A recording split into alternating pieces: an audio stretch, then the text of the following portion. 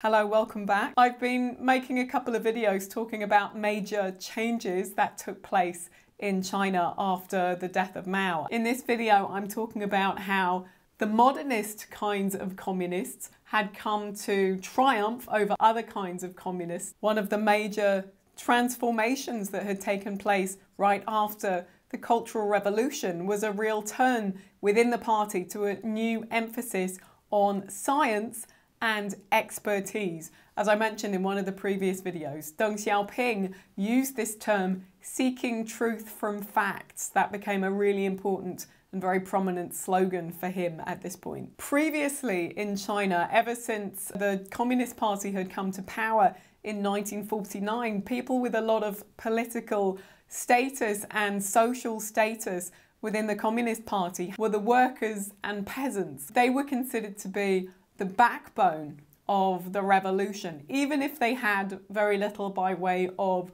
formal education, as long as they were considered to have the right kinds of politics. Now, these same people were starting to lose their status within the party. There's now a new emphasis on the importance of having a high level of education, particularly a scientific education and there's a particular respect for people in fact with engineering degrees so we're starting to see people with engineering degrees rise up in the bureaucratic ranks of the party in fact quite a large number of people in leading positions in the communist party in recent decades have had engineering degrees. Hu Jintao is one of them. He was China's paramount leader from 2002 to 2012. He had a degree from Tsinghua University, that's one of China's top universities, in hydraulic engineering. And another is Xi Jinping, that's China's current leader.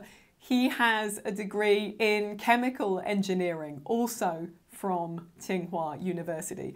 It's no coincidence that both of these paramount leaders have engineering degrees from Tsinghua. This is part of a broader shift to an emphasis on the importance of scientific expertise that took place within the Communist Party after the modernist communists had really taken over control of the party from the late 70s onwards. In fact, Tsinghua University has a really interesting history in this respect. As I said, it's a really important, famous university in China. It's located in Beijing and it had long been a well known centre for training engineers and technocrats.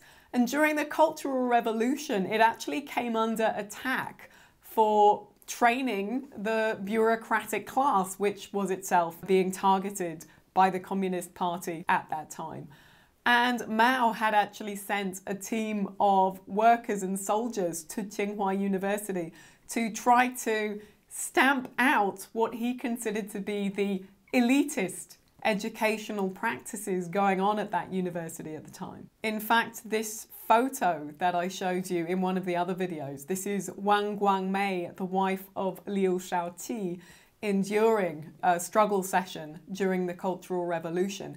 This photo was actually taken on the campus at Tsinghua University. But after Mao died and the Cultural Revolution ended and the modernist communists really triumphed within the Communist Party, Tsinghua University again became a really important institution for training the very people that were going to put the new technocratic communist vision for China's future into practice. So it's not surprising at all that we might see the very top leaders in the Communist Party being graduates from this university. If you want to know more about this, by the way, there's a great book by the sociologist Joel Andreas. He's at Johns Hopkins University and he wrote this great book called The Rise of the Red Engineers, which talks about the political struggles and the factional struggles going on over these very issues based at Tsinghua University during the Cultural Revolution and afterwards, and the rise of the technocratic class within China. Thank you for watching.